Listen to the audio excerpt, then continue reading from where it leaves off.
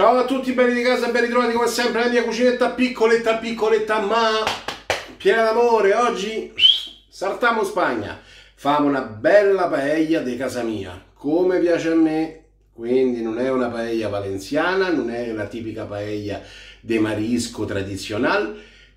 L'ho un po' modificata a modo mio perché secondo me col tocco mio qualcosa diciamo che migliora. Andiamo a vedere quello che io faccio per rendere migliore già sta ricetta che è famosa in tutto il mondo. Allora iniziamo subito, padella sul fuoco, olio della mancia, uno degli oli più buoni che esistono al mondo. Poi ci vado subito a mettere un po' di chorizo tritato. Questo fatto soffriggere piano piano dà un sapore a tutto quanto che si lega col pesce che non te dico provatelo, chorizo.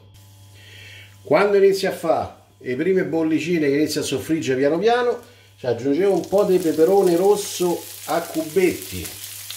Sapete che la paella originale comprende anche pollo, coniglio, taccole, insomma un sacco di cose. Io al posto del pollo e coniglio ci ho messo soltanto un po' di di chorizo tritato, quindi se che è una paella di marisco con chorizo, aggiunta di chorizo, ma avete visto la quantità è minima davvero.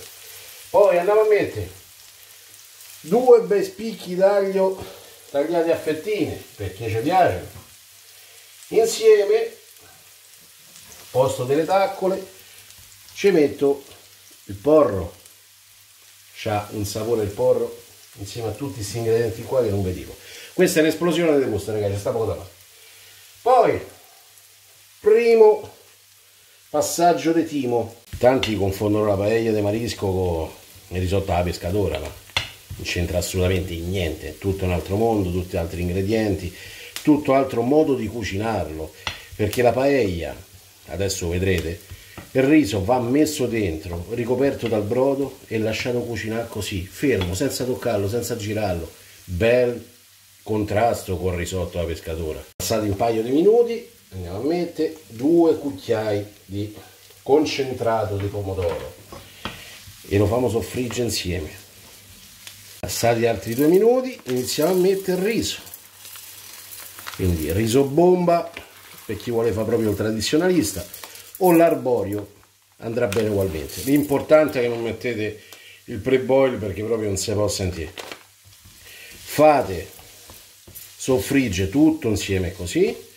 Se volete ci potete mettere un goccio di vino a far soffriggere a me sinceramente la paella non mi piace.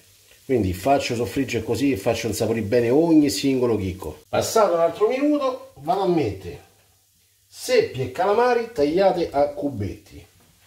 Così. Questi li lascio un po' dentro a far insaporire un po' tutto e inizio a mettere la prima parte del brodo ok? Brodo ovviamente di pesce. Così allora ora che facciamo ci mettiamo le teste solo le teste dei gamberi e dei scampi. Così mi si va a insaporire bene tutto quanto quindi testa di qua. Testa di là. Senza aggiungere sale niente andiamo a mettere il brodo. Così a coprirlo tutto quanto. Bello eh? Guarda qua. Che spettacolo. E che odore che sta venire su. L'ho leggermente modificata ma il resto del processo è tutto uguale eh? ci ho messo il chorizo il, il porro ma il resto del processo è tutto quanto uguale. Come per esempio questo qua è diverso cioè ci metto qualche foglia di origano fresco perché col pesce mi piace da morire. Ecco qua.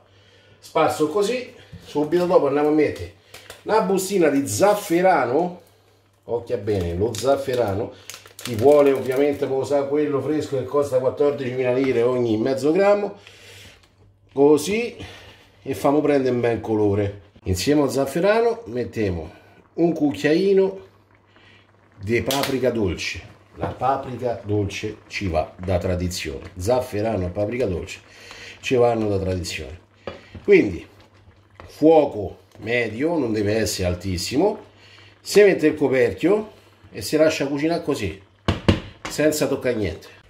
Adesso, dopo 5 minuti che sta coperto, una bella passata di prezzemolo io ho il mio congelato fresco che da paura quando avete eccesso di prezzemolo, basilico, timo, salvia, congelatela.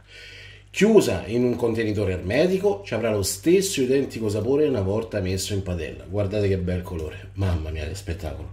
Continuiamo e ricopriamo. Se avete dei dubbi sulla carta stagnola, sopra gli alimenti, che mo gira la voce che se copri la carta stagnola morite tutti quanti, se non sta a stretto contatto con cibi e ingredienti acidi non succede assolutamente niente.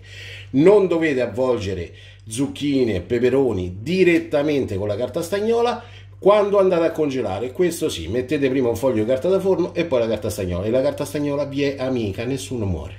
Adesso, quando mancano 5 minuti a fine cottura, vado a mettere una bella sparpagliata di piselli, così, ovviamente sott'acqua se li avete congelati decongelateli e poi li mettete dentro senza nessun problema e poi andiamo iniziamo a mettere le cozze le vongole i gamberoni e le code dei scampi. Allora ci siamo l'odore sta brutal mamma mia. La textura è fenomenale. Togliamo coperchio alziamo la fiamma e famo assorbire tutto il liquido perché la paella sotto in tradizione deve essere croccantina quindi quando ve la danno croccantina non vi incazzate che è bruciata perché ve l'hanno data da tradizione deve essere asciutta, buona, saporita e croccantina non è un risotto, è una paella e belli de casa tutti impadellati ma come state? ma guardate qua che robetta gamberoni, scampi, cozze, vongole piselli, peperoni. Manco mi ricordo quello che ci ho messo. Tanta era la roba. Il scioriso. Il scioriso gli dà quella affumicatura che dà paura. Io vi dico solo rifatela così come l'ho fatta io e poi mi direte mamma mia quanta bah. allora si chiama paella e io dalla paella ma la magno guardate qua che bello mamma mia sembra un cesso di frutta un po' di risottino una cozza un calamaro Mmm. Mmm. Ma c'è andato a finire pure un pezzetto di chorizo. Con i peperoni, o zafferano, la paprika. Mamma mia che piatto ragazzi. Mamma mia che piatto. E rifatelo, rifatelo perché da paura. Magari questa fatela per ogni persona, perché per quattro non basta. Ciao belli.